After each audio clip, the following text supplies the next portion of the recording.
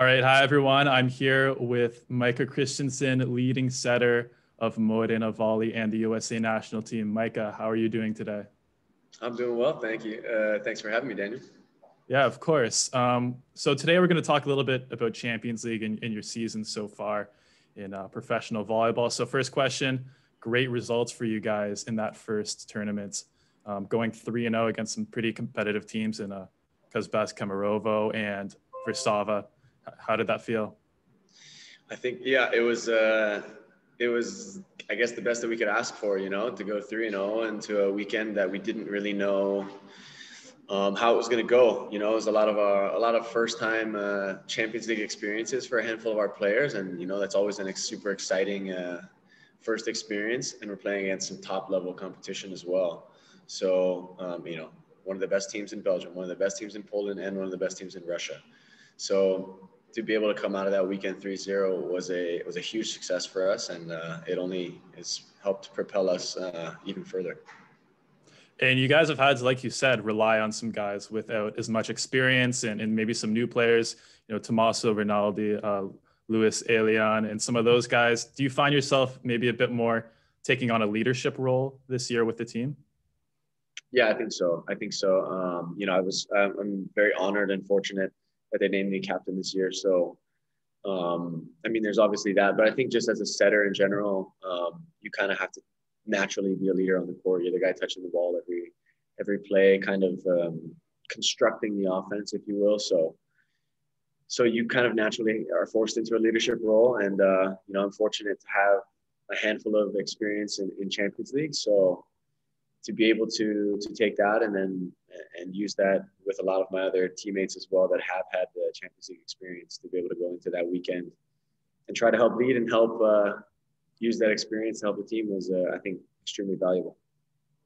And kind of going back on your Champions League experience, do you have any memories, you know, that you can pull back on and, and, and really use in, in moments like this? Oh man, yeah, yeah. There's a lot of there's a whole lot of Champions League uh, memories you know, my first three years uh, professional, I mean, we made the Final Four, Champions League Final Four every year. Unfortunately, we couldn't get a we couldn't get a gold medal. So um, some pretty tough teams you're going against. Absolutely, absolutely. You know, I mean, obviously one of the most memorable, if not the most memorable, um, for for an unfortunate reason, is uh, losing in the final uh, to, I mean, to an incredible Zenit Kazan team, who, and it was you know an extremely high level volleyball match. So obviously, an extremely memorable moment there. Um, there was also, I played uh, my first year in uh, in Italy. My first professional year, we played a golden set in uh, to get into the, the final four. So we played actually six sets of volleyball, and uh, it was um, it was a crazy experience. My first and only golden set experience, and and we we want it. So yeah, yeah, it's not common, but when it does happen, it, it really is something exciting for the fans. And when you're playing in Champions League, do you notice kind of like a, a, stylistic difference when you're playing a Belgian team and then you go the next day and play a, a Russian team and then maybe a Polish team right after? Yeah, you know, it's it's a different uh, mindset, especially when you're playing three three days in a row. Like this is in this is an, an uh, extremely traditional Champions League uh, setup. So to be able to kind of have that experience through the national team as well, playing kind of three days in a row, three different teams, um, was helpful. But you know, when it when it comes to group stages like this, we just try to focus on our style of volleyball, be the best uh, Modena volleyball team that we can be, and then adjust to styles um, and uh, and strengths and weaknesses during the game and try to make those make those adjustments. And uh, speaking maybe of the Italian league a bit more, it's uh, it's I think the most competitive league in the world. Uh, there's some really good other teams in Champions League, uh, Lube, Perugia, Trentino, and you guys have to go against them every week in uh, in your domestic league. And I just want to ask, how is your uh, season going this year? Yeah, you know, our season it's uh, I think it's an interesting one for everybody here in Italy. Like a lot of uh, traditionally very strong teams are being surprised with some tough five setters or some losses the teams that traditionally um, weren't winning those games. So um, obviously, I think COVID brings a lot of those interesting surprises, and um, this you know this year is obviously a little different without fans. Um, with a little bit different protocols with the you know, traveling to away games and this and that. But overall, it's like you said, I think the most competitive league from top to bottom in the world. And so having that be our normal every weekend um, battle, it also, you know, it can only help us for when we enter the Champions League competition as well. And playing without fans, is that something that affects uh, how you play in terms of, you know, mentally or or stylistically? You know, stylistically, no. I think um, I think it just it hurts us a little bit when we're at home because it doesn't hurt us, but it doesn't help us like it usually does. You know, we have one of the best home crowds I think exactly. I've I've ever seen. Yeah, exactly. So you know that's all that's a huge advantage for us to be able to play in front of our home crowd to to be able to get that extra little push uh, from our fans and even you know disrupt the opposing team.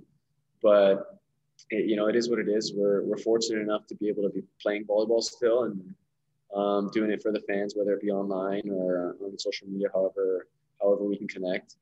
Um, so we're you know we're trying to look at it that way. We're, we're fortunate. We're going to go out and battle, um, but we do definitely miss playing in front of fans.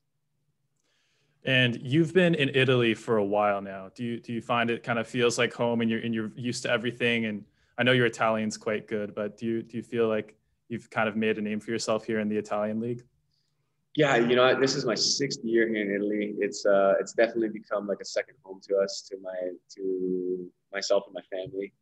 Um, you know, speaking the language, understanding the culture a lot more, really diving into it. I think uh, was a smart decision for for myself and my family to to not kind of just do the same things that we would do in America and in Hawaii, but you know, try to um, absorb as much of the Italian culture as we could, and uh, really try to res- I don't know. I feel like I, you're respecting the culture and the country that you're you're living in when you dive into it, when you give it a chance, and you kind of immerse yourself. So that was the goal, and yeah, I think we're we're very comfortable here. We uh, we, we definitely consider it a, a second home.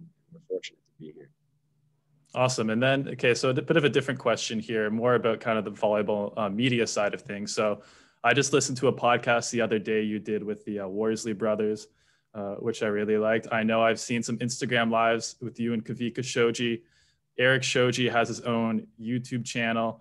So there's a lot of stuff that, you know, athletes are doing. Do you think kind of athlete created content is, is the future of, of sports media?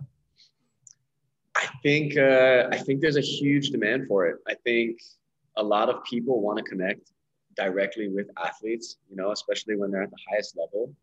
Um, and that's kind of a, a door you don't get to step into uh, very often, or at least in the past you haven't been able to because there hasn't been that one-to-one connection with the uh, with the athlete. So as social media starts to grow, as there's different channels um, of connecting with fans, whether it be whether it be you know on your Instagram, just like posting things, or doing a, a vlog of your day, that you know yeah. you're seeing a lot more athletes do now, um, just to get an inside look on what an athlete's life is like, especially at the highest levels. Um, I do think there's a there's demand for it. I think it's an awesome thing. Um, I don't think it's for everybody. Like some people have the personality for it, and some people don't. Some people right. don't maybe not may not have the time to do it as well. So I think uh, to each his own, but I, it can only it can only help the sport.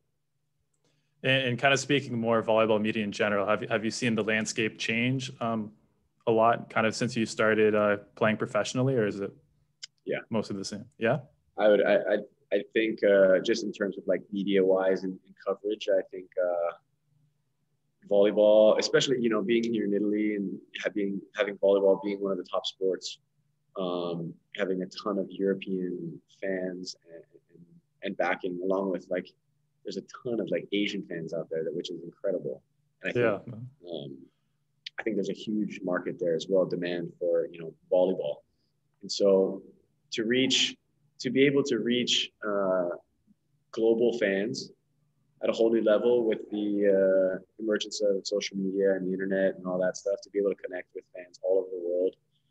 Um, it's definitely like changed the landscape of how volleyball is being watched and followed and just the uh, just the attention that the sport's getting. So it's it's awesome because I do think the more attention the sport gets, the more popular it will be because it's such an incredible it's incredibly fun to watch. It's dynamic. It's physical. So I think the more people, more eyes you get on it, the better. Well, sport is kind of a uh, an international language just overall, and um, you know some viral videos. Maybe maybe viral is a strong word, but you've been in some fun videos playing uh, basketball recently. Can oh, yeah. I'm just I'm curious what what is your uh, background with uh with that sport?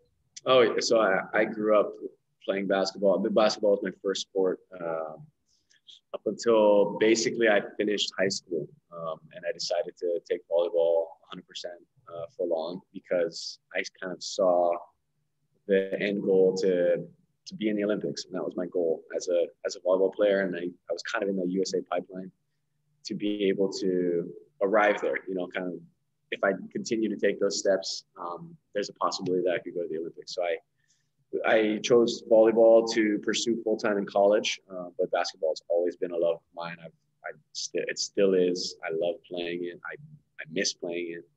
Um, but I was a pretty successful high school, um, college basketball or high school basketball player, and I had some opportunities to go to college as well. But um, we chose volleyball, and I think, it, and, and I'm very excited and happy with the choice. Okay, and last question before I let you go here dunk contests between all the players on Modena. Are you winning, or, or is there another guy who you oh, think I'm could? Winning uh, I'm winning that for sure. Winning that. USA team. Uh, USA team. It might be a little different. So who who who would win on the USA team then? Oh man, um, I think you got to throw Taylor Sander in there because he's a just a flyer. Yeah. There's a you know there's just more of like a, a bit more of a basketball culture in America. Like most volleyball players have played a little bit of basketball. And so, in my experience here in Italy, um, in Europe, like most volleyball players have played soccer. So, right. um, and or specialize in volleyball. So I think I have the edge simply because there hasn't been a lot of exposure to basketball here in Modena, but I think it'd be a, a, a very competitive one in uh, the USA gym. Could be some good content. Yeah, there you go. Content idea. All right, Micah, thank you for joining us today and uh, great, good luck with the uh, Champions League tournaments. I appreciate it. It's a pleasure, Daniel. Thanks.